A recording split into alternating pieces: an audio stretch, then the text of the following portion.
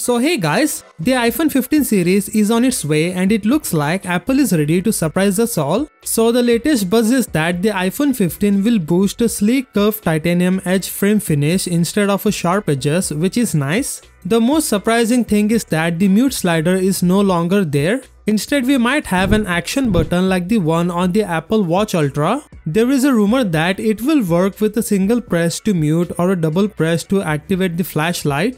Alternatively, you could customize it for functions like taking screenshot or setting timers. However, the beloved alert slider is sadly no more. This has also been confirmed by both CAD renders and metal mockups. The second major upgrade in the iPhone 15 models includes a redesigned hole on the front for Face ID and selfie camera. Additionally, all models now features a Type-C port and have a significantly reduced or even eliminated the bezels around the screen. These changes are absolutely massive and you simply can't deny their impact.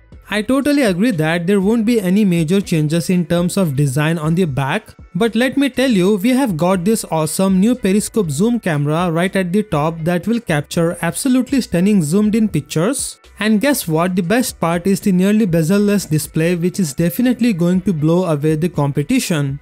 Moving on, some interesting news coming from Ming Chi Kuo. The upcoming iPhone 15 series is set to feature a brand new ultra-wideband technology. It is a powerful and super efficient system thanks to its 7nm processor. This exciting addition will enable faster interaction with the Apple Vision Pro headset.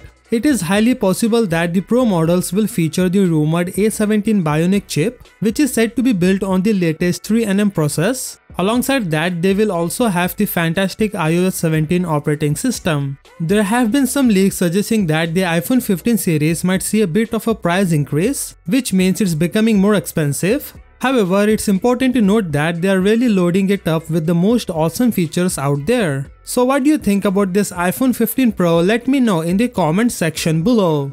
With that said, subscribe if you like and I will see you in the next one.